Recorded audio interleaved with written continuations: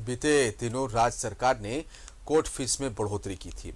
इस मामले पर वकीलों ने विरोध जताया था। अब अधिवक्ता आंदोलन की राह पर है। स्टेट बार काउंसिल ने प्रेस वार्ता कर सोमवार को न्यायिक कार्य ठप रखने की बात कही है।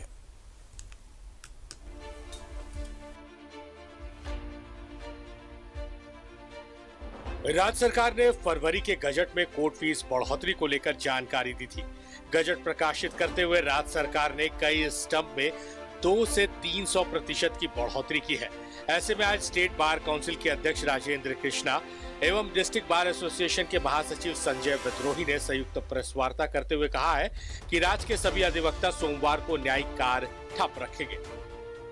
हम लोगों ने ये निर्णय लिया कि मंडे को पूरे राज्य में हम लोग इसका इस कोर्ट फ़ी एक्ट जो नया आया है इसका विरोध करेंगे क्योंकि इसका एनहांसमेंट एग्जॉर्बिटेंट है और विरोध करने के दरमियान हम लोग अपने आप को न्यायिक कार्य से वंचित रखेंगे।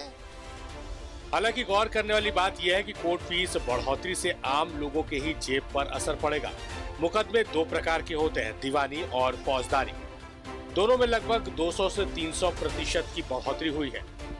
ये इन्हांसमेंट जो किया गया है सरकार के द्वारा कोर्ट फ़ी पे, इसका सीधा सीधा असर आम जनता पे पड़ेगा। दीवानी मुकदमा में पहले कोई भी मुकदमा लड़ने के लिए कोर्ट फ़ी निर्धारित था और उसको इन्हांस करके 400 परसेंट तक बढ़ा दिया गया। आप किसी तरीके का दीवानी मुकदमा लड़ लीजिए, उसमें अगर आपको पैसा देना रहता था तो पचास हज़ार से ज़्यादा कोर्ट फ़ी नहीं होता था। उसको बढ़ा के सरकार ने अब कर दिया तीन लाख रुपया।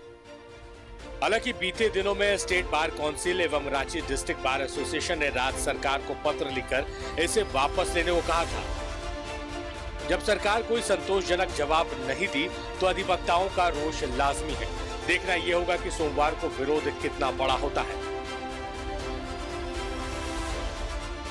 कैमरामैन मंटू के साथ रांची से न्यूजीलैंड भारत के लिए आयुष की report.